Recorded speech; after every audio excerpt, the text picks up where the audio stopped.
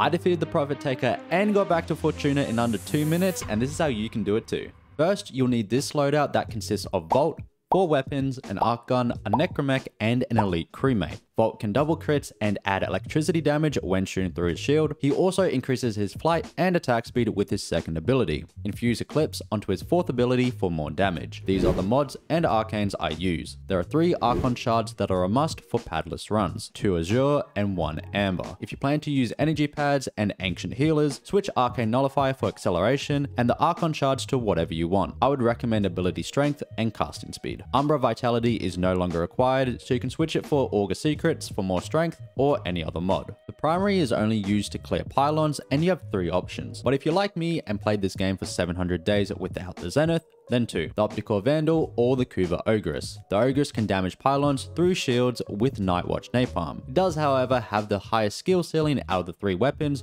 due to predicting where the pylons are going to land. I have got sub 2 minutes with both the Zenith and Ogress and I would recommend these two over the Opticore, but these are the builds that I use. Next, use the Tenet Diplos with 60% magnetic and this build. For your melee, you want this Balazor with these mods. Exodia Contagion covers all the modded elements as well as Blast, and when it hits certain areas, it can deal viral damage. But you don't have to worry about that because viral is also on the Diplos. The last weapon you want is the Synapse. Your elite crewmate will be using this, and yes, you want an elite because of their traits. You want one of these two. If you keep dying, use the healing on kill crewmate, but if you want the highest DPS, use the crit chance crewmate and switch point strike for vile acceleration.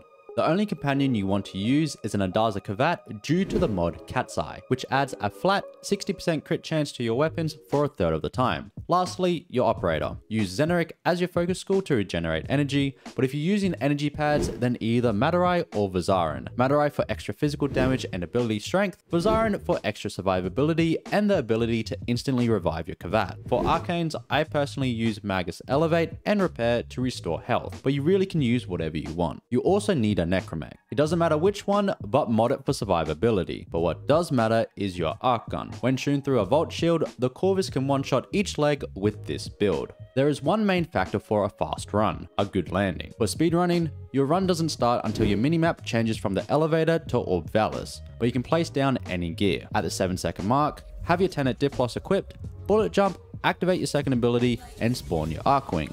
Now fly over to the Profit Taker and blink as many times as you can. When you are around 200 to 300 meters away, merely to exit Archwing, activate Eclipse, then slam attack in front of the Profit Taker.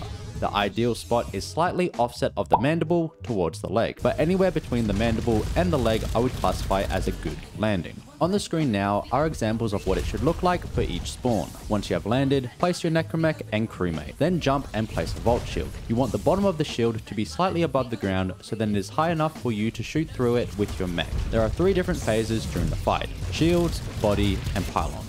During shields, you want to aim at these spots. Reason being, you can deal viral damage with contagion. Depending on where you land will determine where you aim. There are 13 elements and when your crewmate targets the Profit Taker, you will cover all 13 with only the Tenet Diplos and Zaw. So all you need to do is throw Contagion, shoot the Tenet Diplos, then throw Contagion again. Repeat this until the shield is down. The body phase is simple and quick. Transfer into your Necramech and shoot the legs. If you're standing 18 to 22 meters away from PT and near the center, you should one-shot the legs with uncharged shots. But if you're too far away or your position is slightly off, you may need to charge each shot 30 to 50% to guarantee the one shot. Once the legs are destroyed, shoot the body after a few seconds. After the first and third body phase, there will be a pylon phase. The first one will have 4 pylons while the second will have 6. At the start, you want to track where the first 2 or 3 pylons are going to spawn. For Zenith users, make sure it's in semi-auto, and once the pylons land, aim for the center or slightly above the center of the icon and shoot.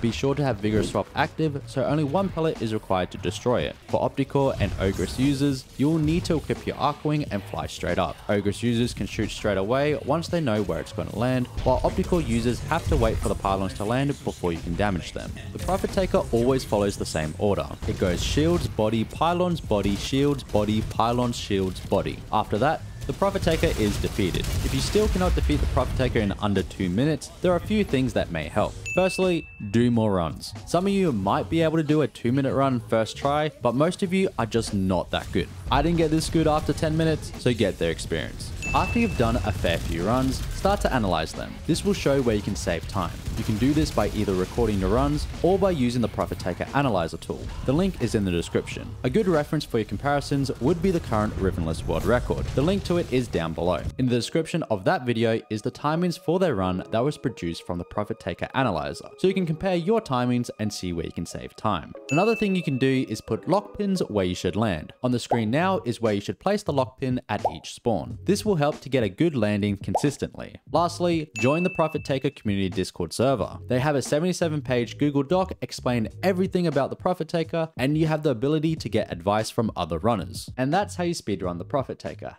And as always, thank you for watching.